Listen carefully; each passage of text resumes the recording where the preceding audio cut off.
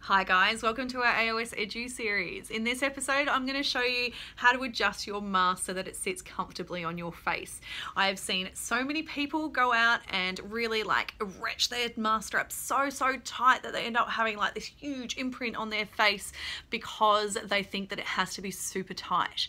It really, really doesn't, okay? So I'm gonna show you a couple of things just to look out for. Now, every mask clip system is different, so it will vary, but this is as a general rule, will give you a great idea as to how it all works. Okay, so masks will tension. You can see through this strap here. You can tension, it's like an airplane seatbelt buckle. Pull the buckle that way.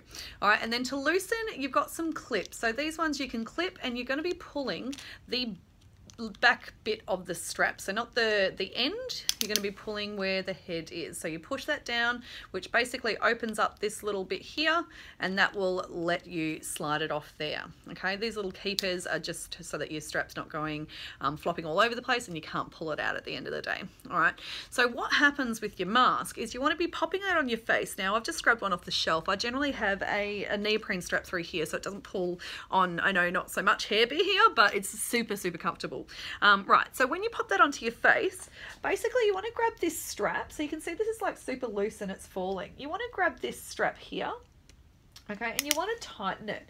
Now your mask strap should be sitting at the top point of your head here, okay? So here, not down because that's going to pull your mask down and not too high because that will fall off. So right at the top of your um, head here, and then you want to pull this strap, okay?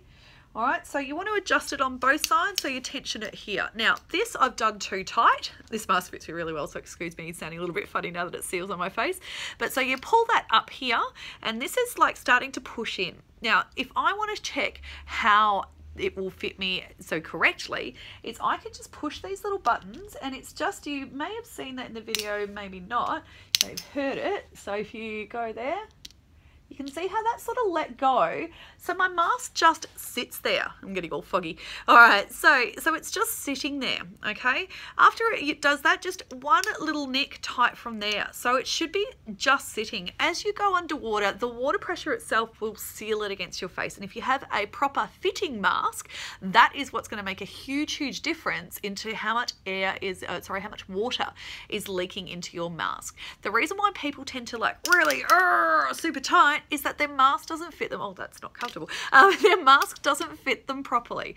Okay, so knowing that your mask fits you properly is your number one step. And secondly, making sure that the strap sits up here and that it is tensioned correctly. All right, it's super foggy, so I'll take that off and finish this. So if you find that it is still leaking, it might be because your mask doesn't fit you, or some people, if you got these like little divots, if you all smile, everyone smile and feel this little bit, if you've got these little bits, yeah, good luck to you. That's just what happens. Laughing if you're underwater, you'll flood them anyway.